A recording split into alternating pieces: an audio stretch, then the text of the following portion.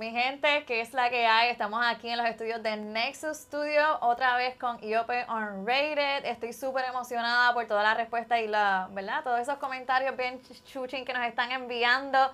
Quiero agradecerle, por supuesto, a la casa, a Nexus Studio por darnos estas producciones súper durísimas, a Decorazón PR por los sets que siempre nos ambientan, miren, on point, y a la gente que está encargada de mi arreglo personal, a Lotus B de la H, Lotus B Studio y a Carlita Maza. Así que miren, hoy estoy bien pompeada porque estoy con una persona que literalmente ella se acordó justo antes de nosotros comenzar a grabar que ella fue una de mis primeras entrevistas cuando yo empecé en los live. Así que mi gente, vamos a darle un aplauso bien fuerte a Noemi. Todo el mundo. Qué dura, gracias Noemi por estar aquí. No, qué bueno. Estoy contenta que estoy aquí y más todavía sabiendo que hace tres años este, te di esa entrevista después de Brava. Literal, acabadita de salir de Brava, que vamos a hablar un poquito de lo que ha sido tu crecimiento desde ese momento a ahora, ¿verdad? Pero Gente, quien no sepa, yo arranqué las entrevistas en live. Cuando yo dije, dije, ok, desde el día uno yo quiero trabajar esta vuelta, yo voy a hacer lives. Y Noemi fue una de esas artistas que me dio la mano al principio, así que nuevamente gracias por eso. Claro. Miri, cuéntame, o sea, eso fue ya hace tres años y tu crecimiento como artista ha sido wow desde ese momento. Cuéntame un poquito de, de tus inicios en la música. Mis inicios en la música me los disfruté mucho sin darme cuenta. Y lo digo porque me crié en la iglesia, ¿verdad? Entonces cantaba siempre en el coro de la iglesia. Y no sabía que mi vida iba a ser lo que es ahora. Este, y no entendía que cuando cantaba cuando pequeña era porque era un propósito en mi vida, sino que pensaba que lo hacía porque mami me apuntó en el coro de la iglesia y pues ya. Pero nada, a través del tiempo estaba jugando baloncesto, eso fue como que lo que yo me dediqué toda mi vida como tal hasta mis 18 años pero la música siempre estuvo al lado mío. Y el, baloncesto sirvió su propósito en mi vida hasta, hasta, cierto tiempo y tuve que pasar la página y ahí es donde vino la música, que llenó un vacío que tenía, me, hizo, me respondió esas preguntas que yo me hacía de, en cuestión de mi propósito. Me levantaba y era como que me gusta jugar baloncesto, pero siento que me hace falta algo más y estaba en la monotonía. O que nada, cuando grabé mi primera canción, eso fue todo para mí, ese fue el switch. Y aquí estamos, eh, promocionando el álbum. Literal. y esa experiencia de tu haber participado en Brava, ¿verdad? En Netflix, ¿cómo, ¿cómo te sumó a tu carrera? Sé que te sumó bastante, ¿verdad? Pero ¿cómo a ti en lo personal tú viste que fue tu crecimiento después de eso? Pues Brava a mí, fue mi debut como, como actriz, pero igualmente me enseñó un lado del profesionalismo que todavía a mí me faltaba y, y ahí pude entender ese trabajo en equipo y la comunicación, la disciplina, un poco más allá de lo que ya yo tenía entendido. Y no tan solo eso, también en Brava pude trabajar lo que es la música. Eso fue súper cool, como quiera, continuar siendo artista y trabajar música para la serie. Desarrollé muchas relaciones que hoy día todavía pues están cerca de mí, que, personas que me han dado la mano. Jesse Terrero, que fue uno de los productores, un mentor para mí. Este, y nada, he crecido mucho desde entonces, mucha música ha salido, he explorado por ahí los sonidos y estoy contenta en donde estoy y hacia dónde me dirijo. Qué dura. ¿Y qué tú dirías que ha sido como que lo más retante para ti durante todo este proceso? Lo más retante para mí ha sido como que continuar creyendo en mí. Porque somos humanos, ¿verdad? Y a veces es como que yo voy a mí, yo voy a mí, pero hay momentos donde siento que quizás no, you quizás en ese momento pues no voy a mí. Y es algo que todavía practico um, y he mejorado. Como que no quiero sentarme aquí y decirte que soy perfecta, diablo, porque la gente dice, diablo, es que tú esto te ves así, pero vamos, soy humano, tengo inseguridades, pero nada, estamos mejorando. Y, gracias a la música y a este álbum, que yo siento que este álbum, y sé que este álbum me ayudó a, encontrar mi identidad, me ha regalado una nueva seguridad que me hacía falta para continuar evolucionando. No, y el álbum está brutal, te lo estaba comentando previo a, abrir cámaras, ¿verdad? Eh, ¿Te viste en algún momento cuando tú estuviste en, en tu proceso de desarrollo en tu carrera haciendo house? Pues siempre me ha gustado, pero nunca sabía cómo atacarlo, porque siempre escuchaba house en inglés o house que no tenía ni siquiera lírica. Exacto. Entonces conocí a Diplo, que es un buen amigo ahora, y empecé como que a consumir más su música. Vi la canción que hizo con Justin Bieber, yo dije, espérate, espérate, espérate. Con Justin Bieber, mi artista favorito, y Rihanna, yo dije, pegué a consumir eso más y me senté y busqué mi color dentro de ese sonido. Y así fue que hace un año, y- me tomé un año y medio en crear este álbum porque quería que cuando saliera, saliera de la forma en que existía en mi mente. Y con mi productor pegamos a jugar con sonido, a fusionar, grabamos un montón de canciones, pero estas ocho canciones fueron las que yo sentí que me representaban de la mejor manera. Sí, ¿no? Y, y por lo menos, ¿verdad? Desde mi perspectiva, tu delivery en, esa, en todas esas pistas, tú te sientes flotando, como que tú naciste para hacer un ritmo Mucha gente de me eso. dice eso, que estoy como que flotando en la Literal. pista, sí, ya. porque tú- de por sí tú tienes una voz bastante melo- melodiosa, entonces cuando tú lo mezclas con lo que es esas melodías del house y todo eso, tú literalmente, como te digo, tú bailas en la música y eso me gustó mucho, te Gracias. identifico con ese ritmo, realmente Mucha ahí me dice eso. Y me e- gustó. Eso era lo que yo quería, decir como que este es el sonido que me identifica y la gente puede sentir mi esencia y quiero que la gente pues me conozca por, por ser Noemi. De una. Y de por sí la- tienes un estilo súper auténtico y creo que me hables un poquito así, ¿cómo, cómo tú identificas tu estilo? Como Noemi, como artista. Mi estilo como artista, ah, no, soy como que bien rockstar, pero a la vez como que bien colorida. So, tengo como que ese balance entre dark y bright. Ajá. Best of both worlds. So, yeah. De una, ¿sabes qué? Por ti yo sigo a tu barbero, que Papi Blance, que Papi? Ah, Blance. yo sigo a ese tipo, yo no me hago nada. Mira, gente, o sea, la gente que me conoce sabe que yo no me sé bregar con el pelo ni para Dios. O sea, yo tengo que ir a que me peinen porque ese es mi lado machúa, por decirlo así. Pero yo tenía que seguir ese hombre. Mira, miren ese pelo, gente. Eso es una obra de arte. De verdad, no, Papi Blens, te amo. Él es el mejor. Siempre que yo estoy en Miami, si a mí me sale algo de la nada y yo necesito hacerme algo duro, ese hombre no me dice que no. Siempre, como que es tremenda persona y le encanta su trabajo. Él es súper apasionado con esto y obviamente se nota. Y tú llevas par de años Ya. con ese estilo de... sí, llevo como un año, dos años, como dos, o sea, pintándomelo, porque recortado llevo como 10 Por eso. Como 10 años ya. Que si tú, tú pe- empezaste como tal a pintártelo ya cuando conociste a... Cuando conocí a Papi Blens, él fue la primera persona que me pintó el pelo y hasta el sol de hoy es la única que me pinta el pelo. Obligado. Qué duro. Yeah. Mire, vamos a seguir. Porque es que me desvié porque es que gente había que hablar del pelo. Pero hablamos un poquito más de lo que es esto, el wordplay y la temática del álbum completo del EP.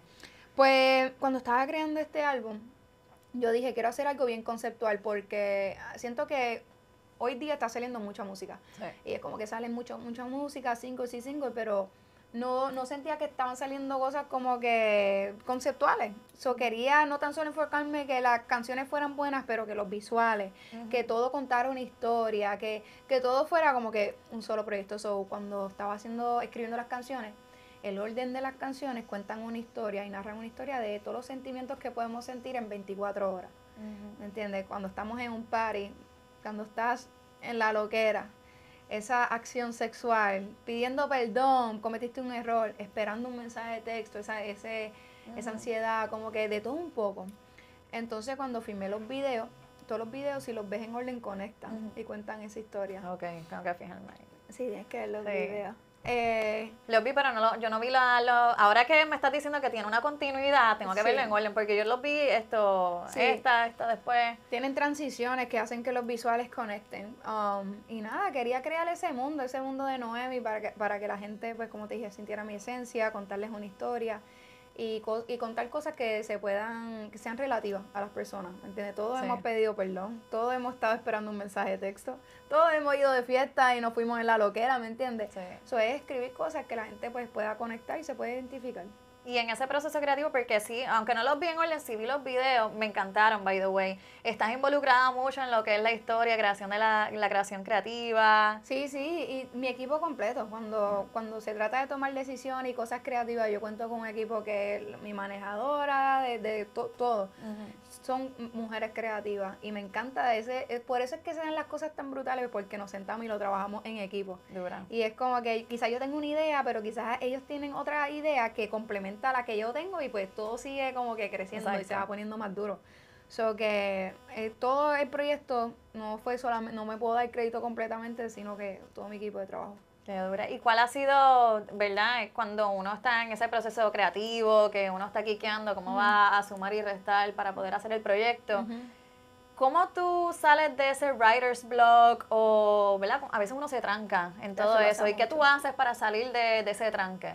Cuando estoy trancada, antes me frustraba. Antes yo era como que, ah, como que tengo que hacer esto, como que, ¿por qué no me sale? Ahora es como que acepto lo que estoy sintiendo en el momento. Ahora es como que, mira, pues si no la tengo hoy, pues no la tengo hoy, mañana otro día, tú sabes. Y me voy a hacer otra cosa. Me voy a jugar baloncesto, me voy para Te, te vas a tirar sí, me, me, voy a la cancha o hago otra cosa porque si no la tengo, pues y si me esfuerzo, siento que la paso peor, ¿me entiendes? O no me quiero hacer eso. ahora acepto, acepto cualquier sentimiento que esté pasando y, y, ya, y eso me ayuda. Me doy mis breakecitos y a veces le digo a mi equipo, mira, esta semana como que no me pongan ah, en writing camps porque estoy gastada, porque eso pasa. y cojo una semanita que no escribo nada, pero en esa semanita busco musas, algo con las amistades y como que tengo nuevas experiencias que contar. Exacto.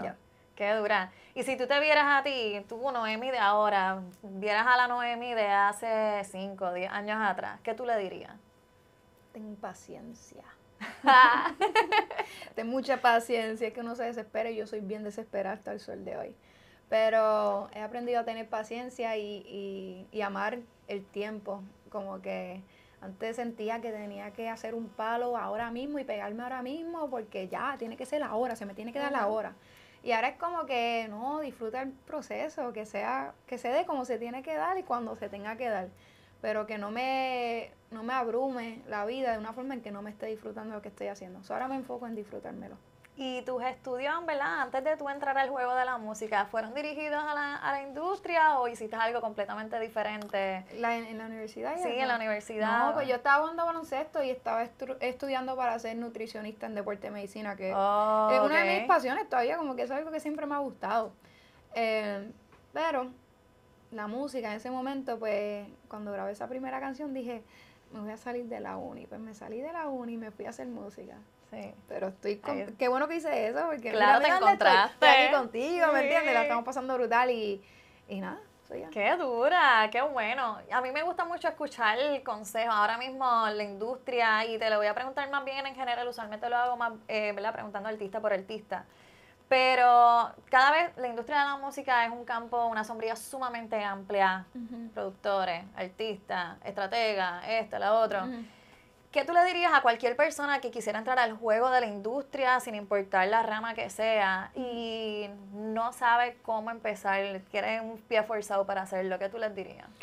Mira, hoy en día yo siento que hay muchas personas que quieren ser artistas, pero igualmente hay muchas personas que quieren ser managers, hay muchas personas que quieren ser booking, que quieren hacer marketing, todas estas cosas que están relacionadas en la industria.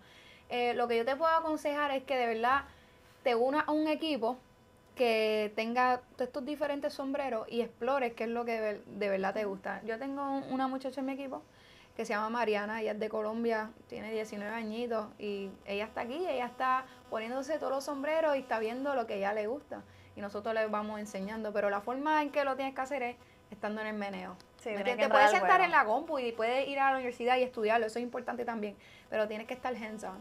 Y ahí pues vas a descubrir como que esa pasión. Qué dura. Y algo que es, ¿verdad? Además de que exhortarle a las personas que escuchen No House, porque tienen que escucharlo de que para ayer.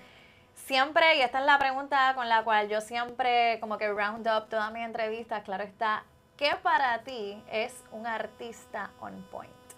Un, un artista on point. Ajá, que un artista esté on point. Un artista on point que llega a tiempo a los lugares. Siento que nosotros artistas tenemos fama de llegar tarde. Siento que tenemos la peor fama de que, ah, eres artista, puedes llegar tarde, pero la disciplina es importante. el artista que tenga disciplina, you on point, baby. Ah, pues más nada, mi gente. Hay que cachar la música de Noemi. Cuéntale a la gente dónde nosotros podemos esto. Bueno, estoy aquí, estoy en esta cámara. ¿Dónde estoy? En las dos, en las dos, cualquiera que tú quieras hablar. Anyway, Corillo, pueden cachar mi música en todas las plataformas digitales como Noemi y me pueden seguir por Instagram y social media Noemi Music. Ahí está. Mi gente, ahí van a estar también los enlaces para que ustedes escuchen el EP completo, que está durísimo, tienen que escucharlo. Y pues obviamente quiero agradecerle a Nexus Studio por la producción, a De Corazón PR por ambientarnos aquí, esto bien chévere con las florecitas y el rojo característico de nosotros. Y Corillo, Noemi está on point.